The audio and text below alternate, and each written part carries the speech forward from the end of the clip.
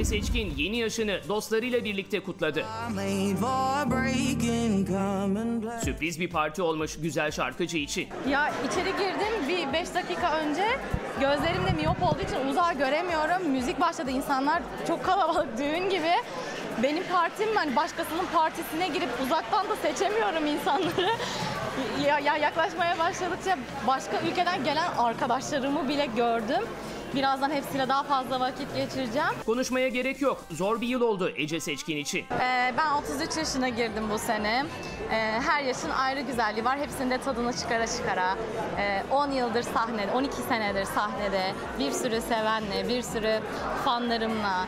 ee, çok güzel yaşlarım oldu. Bundan sonrası da önce sağlık. Kendim için onu diliyorum. Biraz zor bir yaş geçirdim. Geçtiğimiz sene benim için kötü bir seneydi. Umarız yeni yaşında kötülükler geride kalır. O kötü seneyi geride bırakıp yepyeni bir enerjiyle e, hayatın ve e, geçen yaşların tadını çıkarmanın başlangıcı olarak görüyorum. Doğum gününün konuklarından biri de Derya Ulu.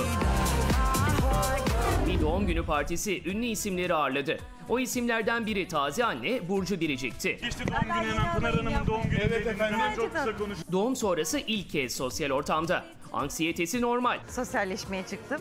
Biraz da sosyal anksiyete yaşadım. Şimdi de hemen bebişin yanına dönüyorum. Annelikle ilgili sorular gecikmiyor. Çok keyifli, çok güzelmiş. Çok sevdim. Kızımı da çok sevdim. Çok şükür her şey yolunda. Kızı Luna'nın kime benzediğini de merak ediyoruz. Değişiyor. Yani e, her baktığında başka bir çocuk oluyor hakikaten. Sinem Kobal'la Burçin Terzioğlu da aynı doğum günü kutlamasından çıkıyor. Ee, çok sevdiğimiz bir arkadaşımızın doğum günüydü. Yanında olmak istedik. O yüzden diğer arkadaşlarımızla birlikte buradaydık. Keyfimiz çok yerinde. Güzel bir kutlama oldu. Dağılıyoruz. Sinem Kobal'ın son tatil paylaşımlarına geliyor söz. Bazı sözler verildi çocukları tatile götürüldü çocuklar. Aynen onlara bir onlarla beraber güzel vakit geçirdik. Şimdi okulları başladı. Eşi Kenan İmirzalıoğlu da vardı o paylaşımların içinde. Bugün yanında göremedik yakışıklı eşini. Göremedik ama kendisini. Ortak arkadaşlarımızın işi var bugün gelemedi o yüzden. Çok teşekkürler sağ olun.